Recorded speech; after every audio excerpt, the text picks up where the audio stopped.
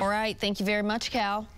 Our other top story this afternoon, Wagoner County deputies arrest a man they say stabbed his 79-year-old grandmother to death, then stabbed his father who's in a wheelchair 20 times.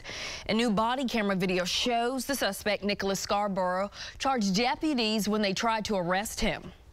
My co-anchor Reagan Ledbetter is live in Wagoner County with this breaking story. Reagan.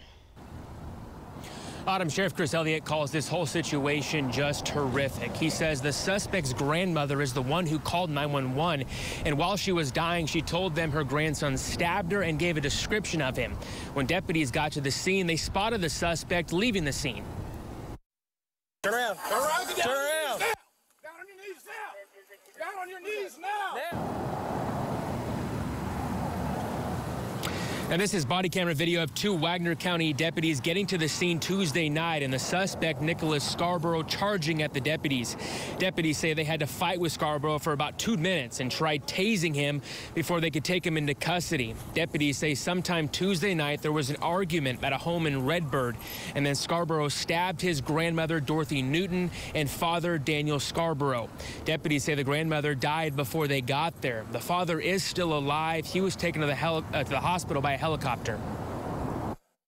You know, our hearts and prayers go out for that, that, that Redbird community and the family of, of Dorothy and Daniel. They're just reeling right now. Uh, these were good people, and um, they tried and tried to uh, raise uh, uh, uh Nicholas Scarborough to be a good person, and uh, he, he just was never going to be that.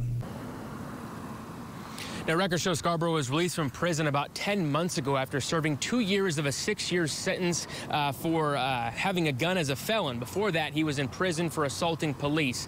Now, the suspect and the two victims are tribal, so the FBI is coming in to take over this investigation. Live in Wagoner County, Reagan Ledbetter, Oklahoma's Own News on 6.